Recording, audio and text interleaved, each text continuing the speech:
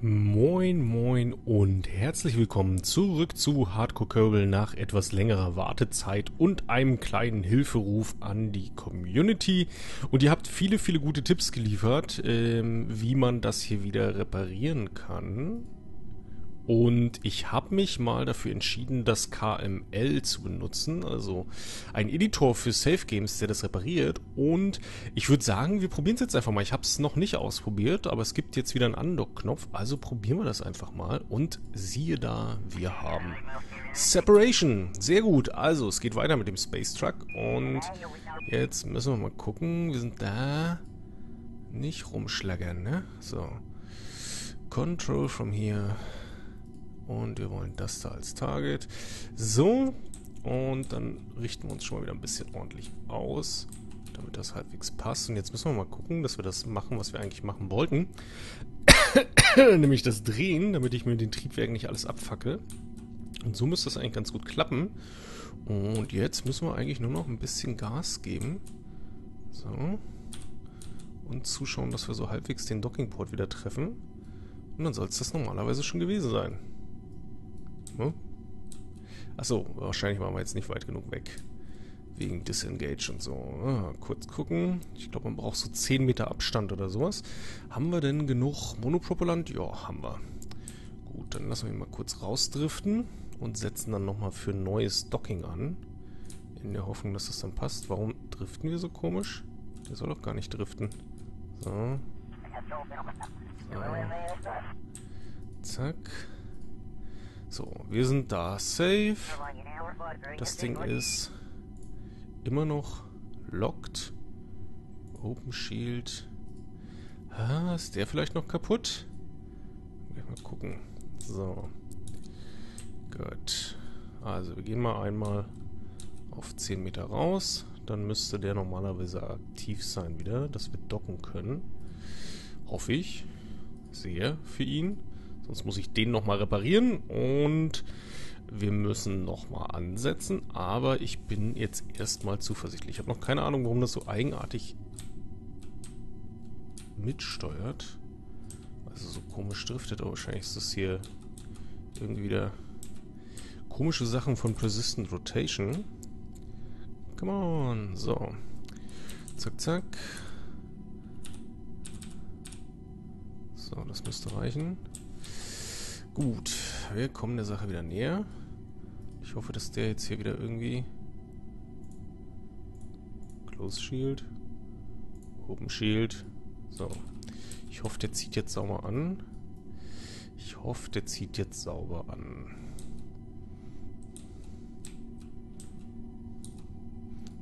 Ein bisschen eirig rein. Leicht versetzt, aber das reicht eigentlich.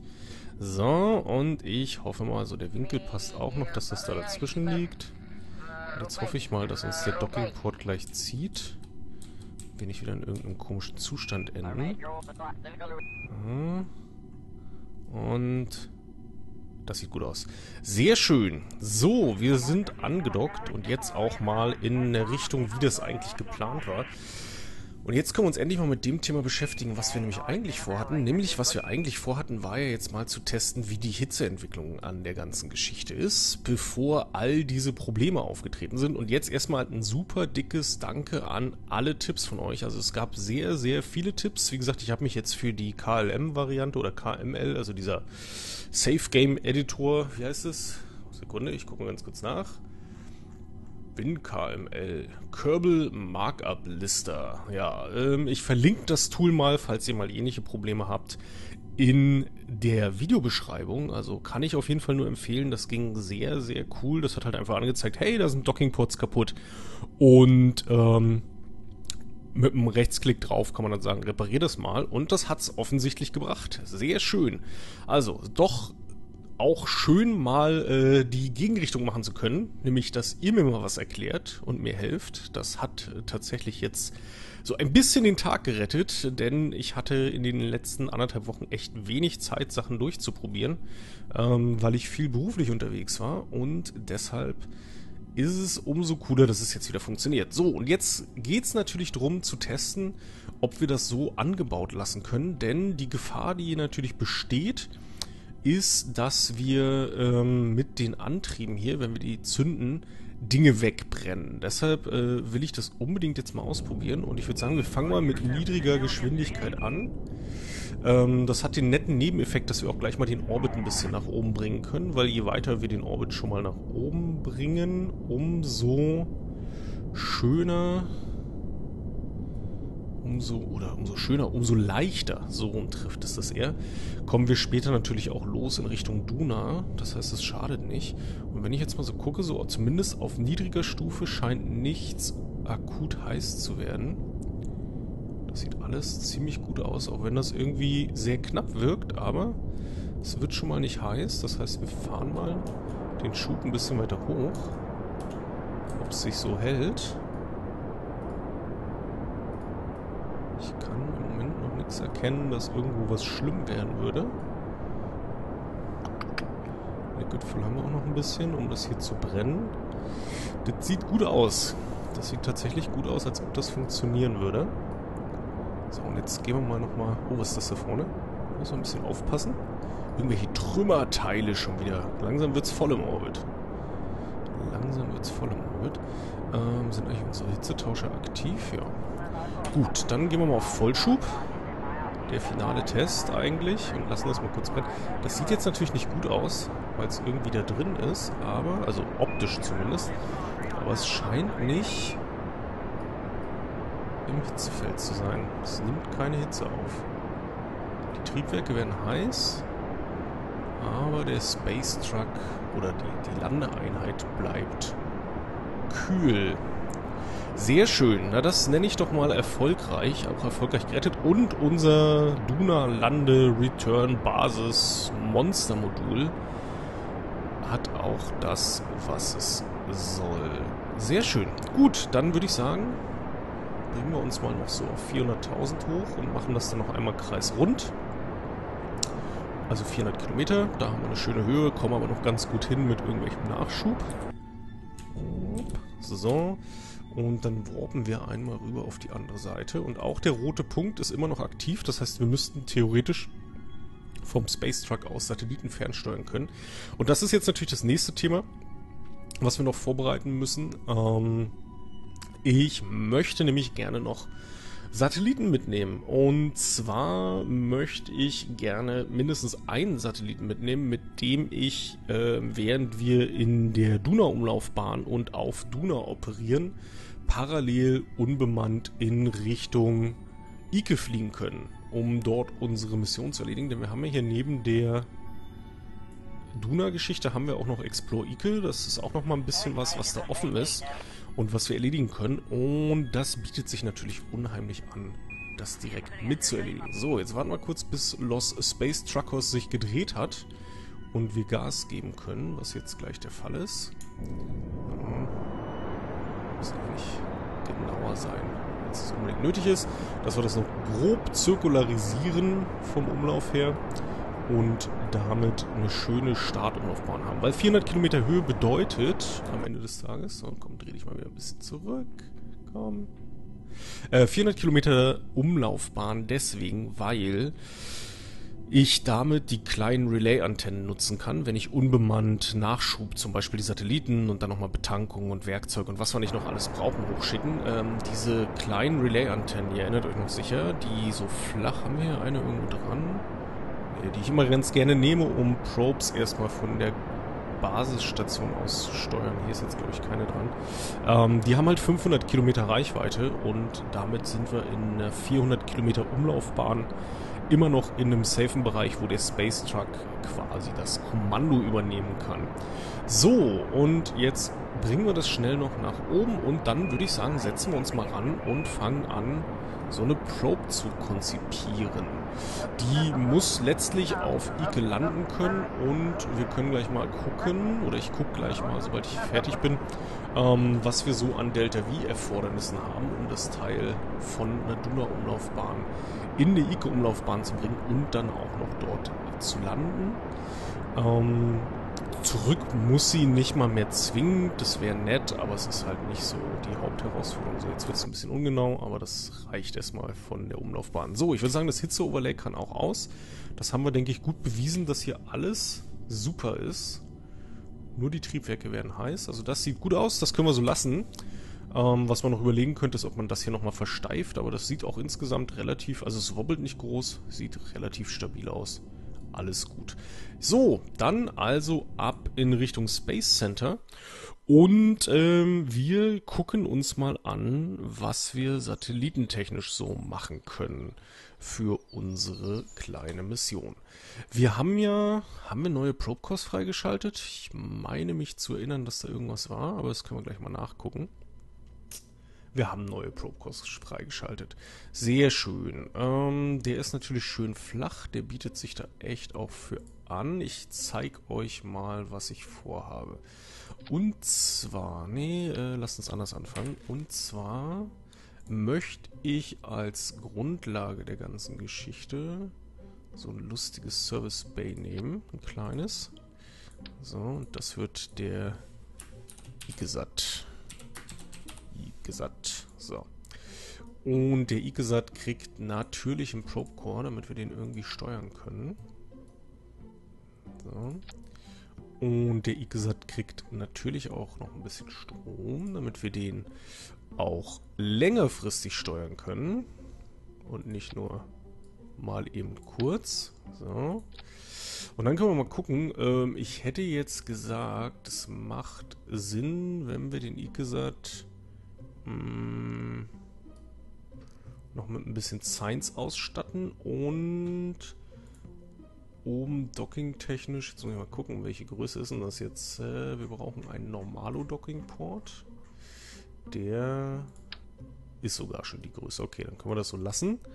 Das heißt, oben kommt ein Docking-Port drauf und unten drunter können wir noch eine SAS-Einheit klemmen. Das schadet wahrscheinlich nicht, denn ich denke mal, das Ding hier hat nicht allzu viel. Ne, hat gar nichts. Das hat gar keine Reaction Wheels. Okay, das heißt, wir nehmen Reaction Wheel mit, aber es reicht, glaube ich, so ein kleines, wenn wir das hier reinpacken. Ähm, und nicht so ein Monsterteil. Und dann können wir hier drin noch ein paar Science-Experimente verstauen. Und zwar wollen wir gerne auf jeden Fall mal gucken, dass wir Seismic Data uns holen. Das ist schön klein. Wir können uns noch ein Thermometer mitnehmen. Thermometer geht immer, finde ich. So, und jetzt noch mal gucken, irgendwas Kleines noch. Wir können hier drüben ja noch was reinpacken. Was haben wir denn noch Kleines?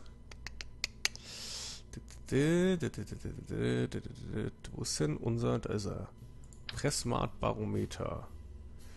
Ja, da ist zwar keine Atmosphäre, aber es müsste theoretisch trotzdem funktionieren. Das ist zumindest Science-Daten liefert.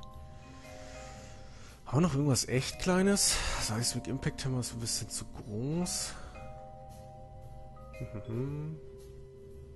Laser, äh, Laser-Based Geological Science. Vaporizing Surface Samples. Hm. Können wir mal gucken, wie groß das ist, ne? Wir haben es ja. Och ja. Warum nicht? Ich pack's einfach mal mit ein das irgendwelche Part-Clipping-Probleme dann? Oh, das ist ganz schön knapp, ne?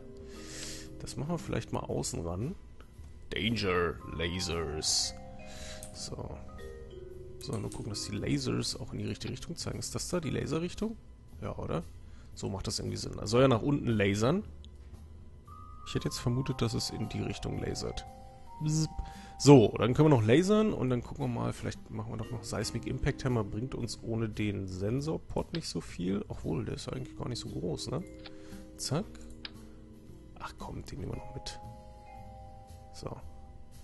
Äh. So. Geht das? Das geht.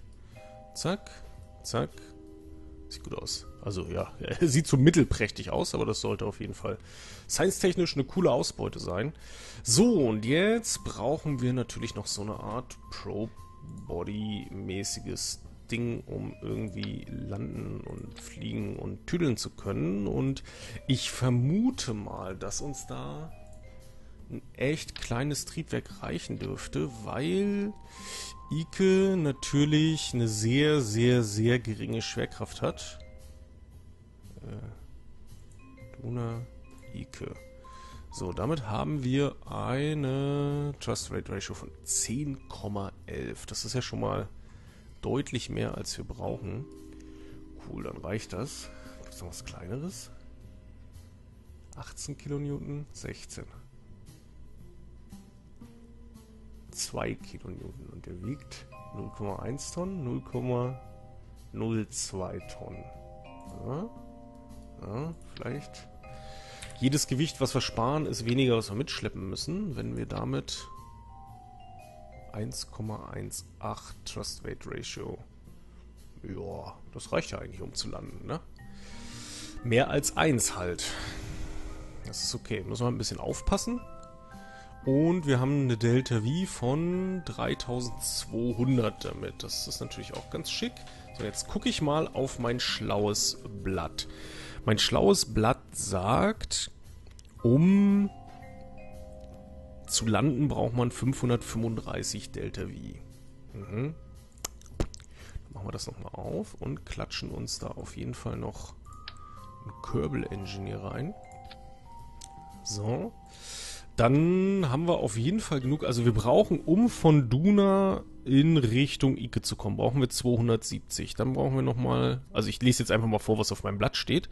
Dann brauchen wir nochmal 110, um in den Orbit zu gelangen. Dann sind wir bei 380 und dann brauchen wir nochmal 535, um äh, eine Landung hinzulegen. Das heißt, wenn wir das jetzt alles mal zusammentackern, sind wir bei 925 stopp, 915 Delta V. Also runden wir mal wieder großzügig auf, auf 1000. Wir haben jetzt 3000 Delta V. Das sieht insgesamt so aus, als ob das wohl reichen würde. Das heißt, wir müssen hier noch gar nicht weitere große Anstalten machen. Das Einzige, was wir auf jeden Fall noch brauchen, oder Dinge, die wir auf jeden Fall noch brauchen, nicht das Einzige, sondern Dinge, die wir brauchen, Landebeine. Da nehmen wir auf jeden Fall was Leichtes mit. Also hier die kleinen Dinge. Das reicht uns für unsere Zwecke ja komplett. Zack. So, eingefahren. Und wir brauchen Solarpanels, damit wir mit unserer Probe auch arbeiten können. Und die finden wir auch nicht unter Science, die finden wir auch unter Utility. Und ich würde sagen, wir geizen mal nicht, sondern wir nehmen die wiederverwertbaren oder die wieder einfahrbaren. Man weiß ja nicht, was auf der Mission so passiert. Und ich glaube aber, dass uns... Ah, da sollten wir sie vielleicht nicht hinbauen, weil da kommt der Seismic Impact Hammer und der Laser rausgeschossen. Bauen wir die doch einfach hier hin. Dann haben wir zwei Stück. Das sollte reichen. Wir haben einen gewissen Batteriespeicher von 2005 Electric Charge und das ganze Ding wiegt insgesamt 1,6 Tonnen. Das heißt, es ist auch jetzt kein riesen Havoc, das irgendwie in den Orbit hochzubringen zum Space Truck und es einmal anzudocken. Jetzt hätte ich aber wieder beinahe die Antenne vergessen und ihr sitzt wahrscheinlich schon alle da und kaut Nägel. Hm, was nehmen wir denn für eine? Äh, wie, wie hoch ist denn Ike über? Das steht natürlich wieder nicht da, ne? Wie weit ist Ike weg? Hm. Wie weit ist Ike von Duna weg? Reichen uns da... Ah, wahrscheinlich reicht es nicht, ne? Also.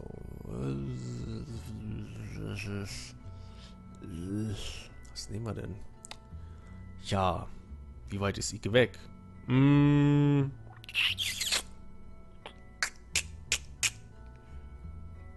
Ich überlege gerade, kann ich das irgendwo sinnvoll rausfinden? vielleicht über. Vielleicht über unsere, äh, wie heißt das, über unsere Tracking Station, genau. Vielleicht steht das in den Characteristics drin. Schwupp von Ike. Wie hoch sich Ike über Duna bewegt. Swoop. So, nah ran und Ike. Und jetzt haben wir hier eigentlich ziemlich viele Informationen.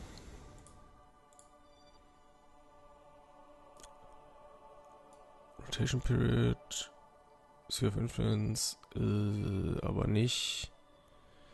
Nicht wie weit über Duna sich Ike bewegt. Okay, äh, das sollte ich dann vielleicht noch rausfinden, bevor wir das Ding nach oben jagen.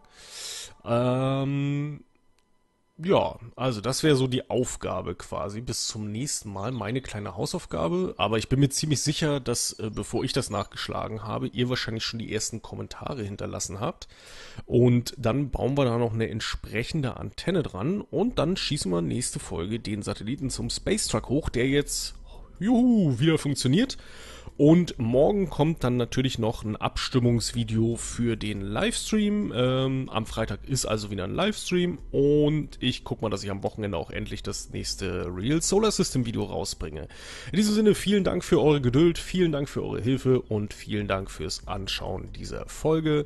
Wir sehen uns Freitag im Livestream und bis dahin, mein Name ist Robert und tschüss.